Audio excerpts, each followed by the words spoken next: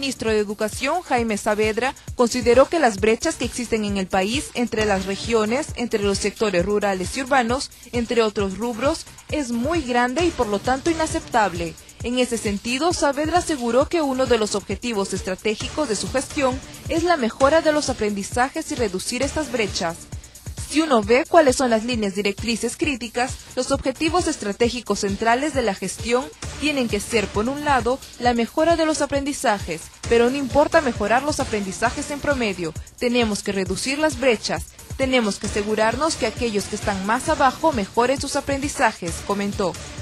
la reducción de brechas entre distintas regiones, la reducción de brechas entre inaceptablemente altas entre lo rural y urbano, la reducción de brechas entre lo público y privado, la reducción de brecha entre las escuelas multigrados, en las que tienen un solo docente trabajando para varios grados, y las escuelas polidocentes completas. Las brechas son demasiado grandes e inaceptables, agregó. Según el ministro, este 3, 4 y 5 de diciembre, el Ministerio de Educación realizará la evaluación muestral con el objetivo de medir los aprendizajes de estudiantes de sexto grado de primaria. Esta evaluación se aplicará a una muestra de 3.200 escuelas elegidas al azar, estadísticamente representativa de las escalas regionales y nacional. En esta muestra estarán incluidas escuelas privadas, estatales, rurales y urbanas ubicadas en distintos puntos del país.